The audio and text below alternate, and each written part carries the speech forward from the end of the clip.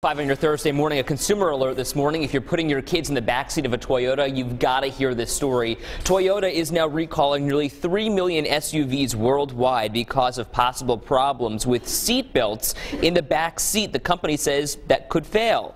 The affected vehicles here in the U.S. are the Toyota RAV4 and Toyota RAV4 EV. They were built between 2005 and 2014.